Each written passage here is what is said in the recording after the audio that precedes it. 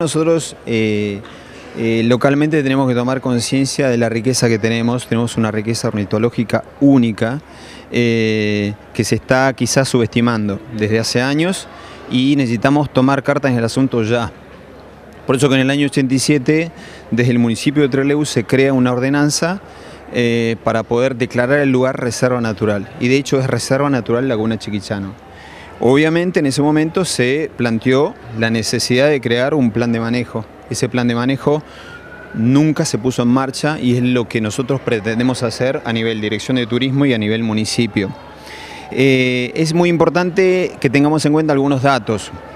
Nosotros en, en el mundo estamos hablando de 9.500 especies de aves, de las cuales 4.000 están en Latinoamérica. De esas 4.000 hay 1.000 en Argentina y esas mil tenemos 200 en el corredor Península Punta Tombo, incluyendo el sistema lagunar que tenemos localmente entre Laguna Chiquichano y Laguna del Ornitólogo. O sea que tenemos 160 especies locales en Laguna Chiquichano y Laguna del Ornitólogo. O sea que es muy importante poder crear esta reserva natural, eh, crear eh, la cartelería necesaria y la conciencia a nivel comunidad. Erradicar ruidos en zona lagunar y poder trabajar en un centro de interpretación y, así poder captar un mercado eh, que desde afuera está, está, esperando que nosotros creemos estos lugares.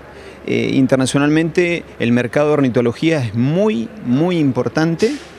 Tenemos casi 100 millones de turistas en el mundo que buscan sistemas lagunares nuevos para poder captar esos pajaritos que no han visto todavía, ¿sí? en su listado, poder completarlo. Así que bueno, es importante crear un nuevo producto turístico local que podría ser eh, con un perfil ornitológico, aparte de otros productos que estamos elaborando.